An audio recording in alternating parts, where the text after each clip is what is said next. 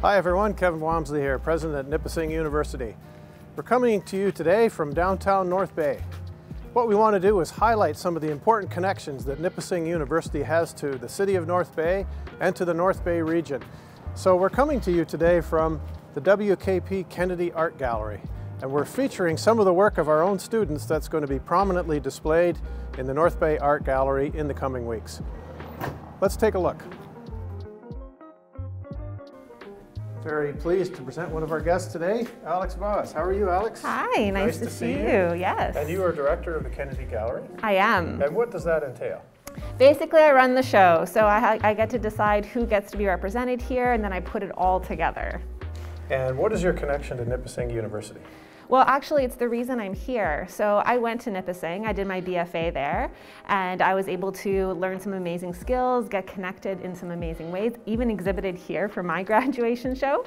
And then I was able to come back, and thanks to my connections here, I was able to establish this as home again. We're seeing some of this um, work of fourth year students That's that right. is displayed here in this room. Let's take a look.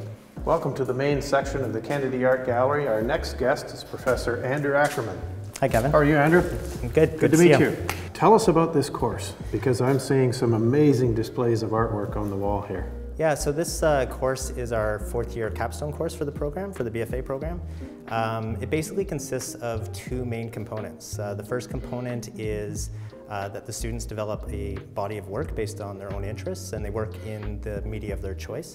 Um, they also write a thesis paper to help uh, contextualize their work. Uh, we also have visiting artists come in who uh, meet with the students and I think they also have an impact on how the students progress through the program.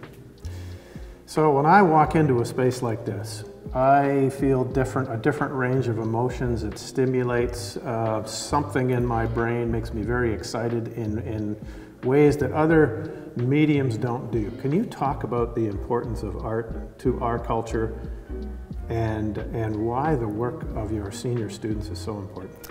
Yeah, I, I actually find that question a little bit difficult to answer, and I think it's because of the uh, range of experiences. I think everyone approaches art from a different standpoint. Uh, some people approach art as a form of entertainment, as a way to kind of escape uh, from daily life. Other people, I think, uh, see it as an expression of their own identity, an expression of their culture. Uh, and then other people um, see it as a way to think, uh, think differently. Um, so I often equate it to uh, working with uh, you know, reading and writing, but we, are doing that through a visual format. And so we have um, students who are thinking about different ideas. It might be environmental issues, it might be um, themes of identity, uh, politics, and they're exploring that through different visual means. Well, that sounds like a terrific answer from a very successful, very modest professor. I am so thrilled that we have a couple of more special guests, and they are the artists. Our first is Kaylee Merrick. Kaylee, how are you? Good, thanks. How are you? Very good, thank you. Where are you from, Kaylee? Um, I'm from Orangeville, Ontario. And have you always wanted to be an artist? Um, yes, art has always been a passion of mine, um, and then I think I've also always been interested in going into education, so this program here allowed me to do both, um, be able to graduate my BFA as well as um, start um, a route towards education. So that's the primary reason why you're attending Nipissing University? Yeah, um, this was one of the only schools that allowed me to do a BFA as well as being in Con Ed.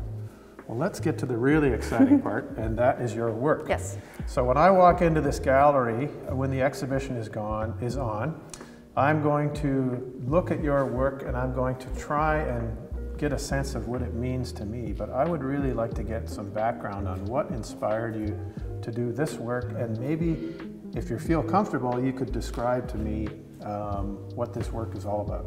Yeah, um, well, my work is focusing on the dualities between um, two identities. I'm Chinese Canadian, and I wanted to focus on different aspects of my own identity and how I personally navigate through the intersectionality of, be of belonging to one culture and then being raised in another.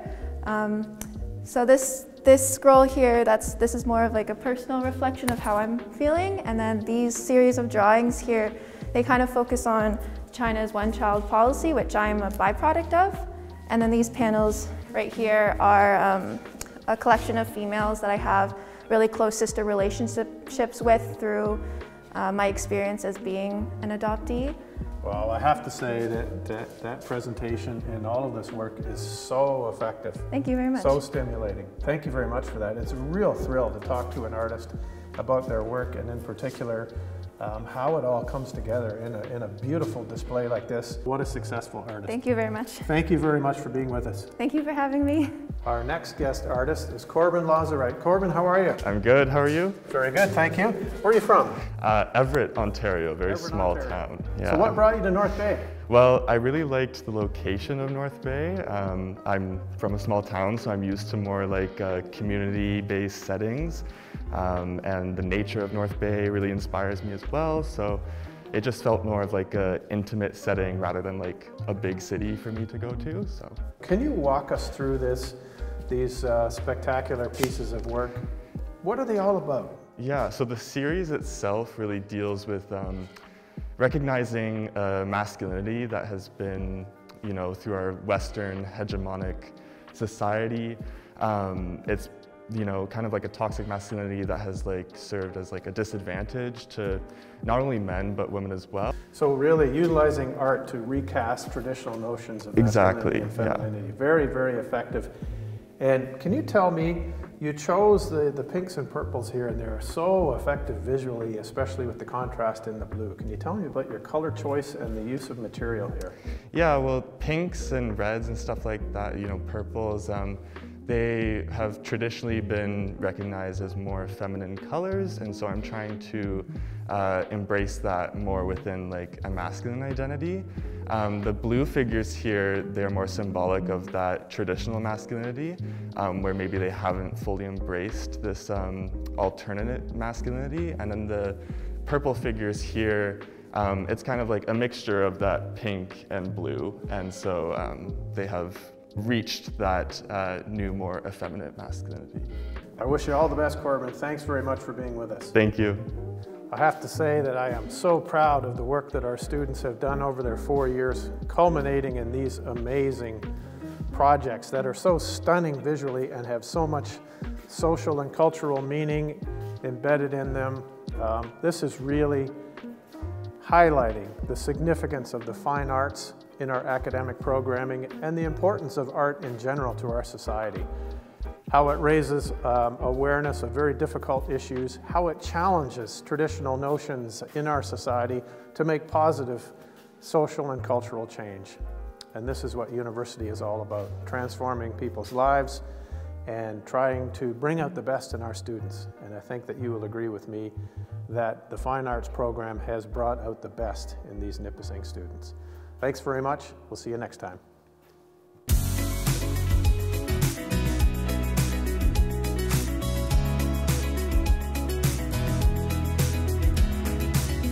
This is your Nipissing University.